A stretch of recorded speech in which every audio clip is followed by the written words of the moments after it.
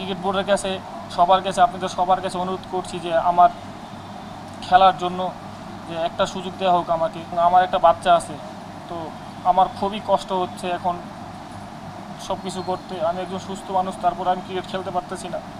তো আমি সবার কাছে ক্ষমা যাচ্ছি